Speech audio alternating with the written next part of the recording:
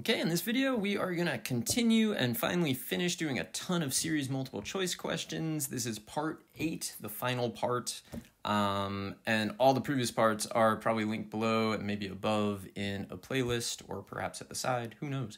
All right, let's do it. So, first question, what is the sum of the series from 1 to infinity, negative the quantity negative 2 to the n, over e to the n plus 1? This is geometric. I'm going to rewrite it the way I like to rewrite geometric. So what I like to do is take everything to the n, group it together so that I can just look at it and see what the ratio is. So here I can see the ratio is negative 2 over e. e is bigger than 2, so the ratio is the absolute value of the ratio is less than 1. This converges. Um, it was an option for it to not to converge, so we had to think about that.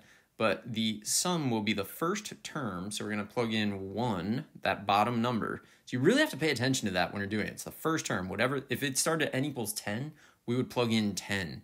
Um, but in this case, it starts at 1, so we get negative 2 over e squared over 1 minus the ratio. And then we have to do some algebra, so I'm just going to do that and do that. And here we go. We get negative 2 over e times e plus 2, which is negative 2 over e squared plus 2e, which is b. All right, next problem. Um, consider the series, the sum from 1 to infinity of a sub n. Uh, if a sub 1 is 16 and a sub n plus 1 over a sub n is equal to 1 half, so the ratio of consecutive terms is 1 half for all integers n greater than or equal to 1, then what is the sum of the series um, from 1 to infinity? So this is a really good, interesting question. Um, so I am going to uh, look at this. So that's the ratio of terms and uh, the first term is 16. So I'm going to write a series for it. I'm going to say that uh, we have from 1 to infinity, the first term is 16. And then we need to uh, raise that. So our ratio of consecutive terms is 1 half. So 1 half to the n minus 1. So when I plug in 1, I get 16, the first term. And then every successive term will just be 1 half of the previous one. That's our geometric sequence, series rather. Um, so now we need to find the sum.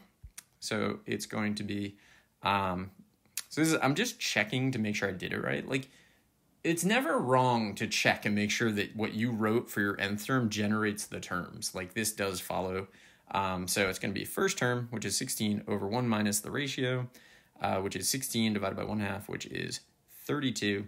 So that is our answer. All right. 66. Consider the geometric series from uh, 1 to infinity of a sub n, where a sub n is greater than 0 for all n. Um, what do we want to do? Uh, the first term of the series, a1, is 48, and the third term, a3, is 12. Which of the following statements is true? Okay, so we gotta like work out what's happening. So we know the first and the third term. So I think this is a good idea. You don't have to do it this way, but I like wrote out A1, 2, and 3.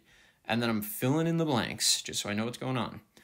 And also, because of the way I made the video, I'm like in the middle of geometric, so like I have a better idea of how to do this. If it's the middle of the AP exam, this strategy is way better because, you know, you're you're like solving it rather than just being like, "Oh, I just did this problem." Although if you study enough, you'll think you did every problem. That'll be good.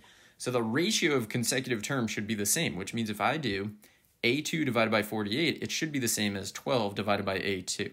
That's how geometric sequences work, and geometric series are just the sums of geometric sequences. So this has to be true, and there's some math we can do here. So a2 squared is going to be, I'm writing 48 as 12 times 4 because it's a little easier. So I get 12 times 12 times 4, and 4 is 2 times 2, so it's really 24 times 24. So a squared, a2 squared rather, is 24 squared. Now this is important because that means that a sub 2 could be plus or minus 24. We don't actually know. Um, and because of that, what we're thinking is if I do a2 divided by 48, I'm getting plus or minus 24 divided by 48. I'm getting plus or minus 1 half. So I don't actually, I know that the absolute value of the ratio is less than 1. The series definitely converges.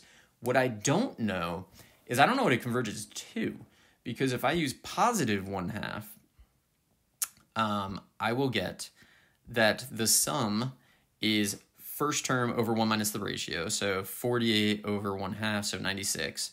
if I use negative 1 half, I get 48 over 1 minus negative 1 half. So 48 over 3 halves, which is 96 divided by 3, which is 32, which suspiciously is not actually the answer to A. So I'm not really sure where A's value of 64 is coming from. Maybe somebody knows and can let me know. Um, but either way, you could get two possible sums, so definitely converges, but we do not know what it converges to. So that's the answer. The answer is C. All right, new problem. 67. What is the sum of the series? So they're like giving you a bunch of terms, which is nice, but then they give you the nth term. So it's uh, the sum negative 1 to the n plus 1 over pi, no, times pi over e to the n. So pi is not being raised to the nth power. It is not a part of the ratio. So the ratio itself is actually negative 1 over e, right? That's what's being raised to the nth power. So what we need to do is do the first term, which conveniently they gave to us. We don't need to like work out what value of n generated that. It's like first term is pi over e. First term over 1 minus the ratio. Um, and then we have to do, you know, some, I don't know, arithmetic, I guess. This this arithmetic feels more like algebra, but it's still arithmetic. Um, so we end up with uh, just pi over e plus 1, and that is an answer choice, so I'm going to pick it. All right, next question. To what number does the series, this is another infinite geometric? Geometric is the best. It's really not. P series are the best because they're you just look at them and you're like converges, diverges, converges, diverges. With a geometric, you can look at it and be like converges, diverges, but you also sometimes have to find the sum. So here we're doing the sum negative e over pi raised to the k. Uh, e is less than pi, so the absolute value of r is less than 1, so it does converge. Um, so we're just going to do first term. So starting at k equals 0, the first term generated is 1 over 1 minus the ratio, and then again some I don't know, algebraic arithmetic, I get pi over pi plus e, which is c. All right, new problem. We're closing in on it. I only did 71 problems. I should have done 72 to make it 9 per, but whatever. Um, another infinite geometric. So the sum from 1 to infinity, negative 3 to the n plus 1 over 5 to the n. So uh, first term over 1 minus. Uh, the ratio again here, I'm going to rewrite this pull everything that's to the n under one thing. Um, so I'm going to end up with, we're going from, uh, so negative 3, and then I'll have negative 3 fifths to the n. Same thing written differently, but I can easily identify now the ratio, which is kind of the most important part. So I'm going to plug in 1 to get the first term, because 1 is the lower bound there. That'll give me uh, 9 over 5, 1 minus negative 3 fifths, and then again, we just have to simplify this. So 9 fifths over, uh, I mean 8 fifths. So we're to get 9 eighths as our answer. Nice. Let's do this. The sum of the, it's like ending with all these geometric series, and it's great because they're so straightforward. Uh, the sum of the infinite geometric series, 3 halves plus 9 sixteenths plus 27 over 128 plus 81 over uh, 1024. So I need to figure out R because, uh, I mean, I guess like to get from the first term to the second term, you just multiply the top by 3 and the bottom by 8. And then to confirm that that works, do that to go from 9 to 27, multiply by 3, to go from 16 to 128, multiply by 8. So 3 eighths is R. If you're not sure what I just did, divide consecutive terms. So 9 sixteenths divided by 3 halves should give me R. You can do that with any consecutive terms. Um, so that gives me this. So it is the case that r is 3 eighths. So now I just need to do, and the absolute value of r is less than 1, so it converges. Although not converging is not an option, so, you know, it had to. All right, so our sum is going to be the first term, which was 3 halves, over 1 minus the ratio, which is 3 eighths. So this, again, you end up simplifying this a ton. So my I emphasize in these, I'm not doing a lot of like Taylor series or Maclaurin series. I have other videos where I do that stuff. This is all just like series of constants. This is on the exam. Like it will show up. It's going to be a bunch of multiple choice questions. Sometimes it kind of invades the free response questions. So you do need to know all of this, but it does have like a slightly uh, different, I don't know, like flavor from some of the other problems that you've probably done. So 24 over 10, 2.4. Also, I don't know why these are decimals. I don't think this would be a calculator question, but whatever. All right, the final question. This has been an ordeal. Well, a journey. it's been a journey for you. It's been an ordeal for me. I had a lot of false starts with this video.